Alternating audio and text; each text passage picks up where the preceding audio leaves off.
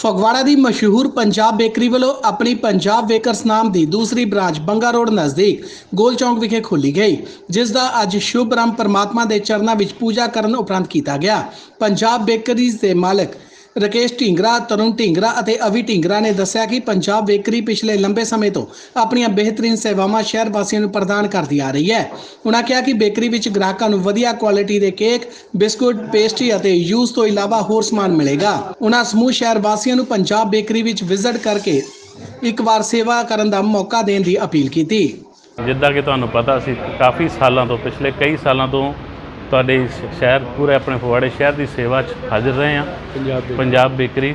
ਤੇ ਅੱਜ ਅਸੀਂ ਆਪਣੇ ਨਵੇਂ ਸ਼ੋਰੂਮ ਦੀ ਓਪਨਿੰਗ ਕੀਤੀ ਆ ਬੰਗਾ ਰੋਡ ਨੀਅਰ ਗੋਲ ਚੌਂਕ। ਸਾਰੇ ਸ਼ਹਿਰ ਵਾਸੀਆਂ ਨੂੰ ਹੱਥ ਜੋੜ ਕੇ ਇਹ ਅਪੀਲ ਆ ਕਿ ਇੱਥੇ ਇੱਕ ਵਾਰੀ ਆਓ ਆਪਣਾ ਪਿਆਰ ਸਾਡੇ ਤੇ ਬਰਸਾਓ ਜਿੱਦਾਂ ਤੁਸੀਂ ਪਿਛਲੇ ਕਈ ਸਾਲਾਂ ਤੋਂ ਬਰਸਾ ਰਹੇ ਹੋ।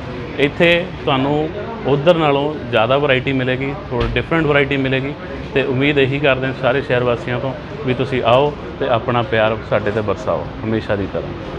ਅੱਜ ਅਸੀਂ ਆਪਣੀ ਨਿਊ ਬ੍ਰਾਂਚ ਓਪਨ ਕੀਤੀ ਆ ਬੰਗਾ ਰੋਡ ਤੇ ਪੰਜਾਬ ਬੇਕਰਸ ਦੇ ਨੇਮ ਤੋਂ ਤੇ ਗੋਲ ਚੌਂਕ, ਬੰਗਾ ਰੋਡ ਨੀਅਰ ਗੋਲ ਚੌਂਕ। ਤੋਂ ਸਾਰਿਆਂ ਨੂੰ ਹੱਥ ਜੋੜ ਕੇ ਬੇਨਤੀ ਹੈ ਕਿ ਇੱਕ ਵਾਰੀ ਆਪਣਾ ਪਿਆਰ ਬਖਸ਼ਣ ਲਈ ਜ਼ਰੂਰ ਆਓ, ਕਿ ਆਪਾਂ ਜੋ ਤੁਹਾਨੂੰ ਉਧਰ ਟੇਸਟ ਕੁਆਲਿਟੀ ਦਿੰਨੇ ਉਹ ਤੇ ਉਹ ਤੋਂ ਬੈਟਰ ਕੁਝ ਇੱਧਰ ਹੋਰ ਦੇਣ ਦੀ ਆਪਾਂ ਕੋਸ਼ਿਸ਼ ਕਰਾਂਗੇ। ਉਧਰ ਪੰਜਾਬ ਬੇਕਰੀ ਨਾਲ ਪਿਛਲੇ ਕਾਫੀ ਸਮੇਂ ਤੋਂ ਜੁੜੇ ਇੱਕ ਗ੍ਰਾਹਕ ਨੇ ਜਿੱਥੇ ਪੰਜਾਬ ਬੇਕਰੀ ਦੇ ਮਾਲਕ ਨੂੰ ਦੂਸਰੀ ਬ੍ਰਾਂਚ ਖੋਲ੍ਹਣ ਤੇ ਹਾਰਦਿਕ ਵਧਾਈਆਂ ਦਿੱਤੀਆਂ, ਉੱਥੇ ਹੀ ਉਹਨਾਂ ਸ਼ਹਿਰ ਵਾਸੀਆਂ ਨੂੰ ਅਪੀਲ ਕੀਤੀ ਕਿ ਉਹ ਇਸ ਬੇਕਰੀ ਵਿੱਚੋਂ ਵਧੀਆ ਕੁਆਲਿਟੀ ਦਾ ਸਮਾਨ ਖਰੀਦ ਸਕਦੇ ਹਨ।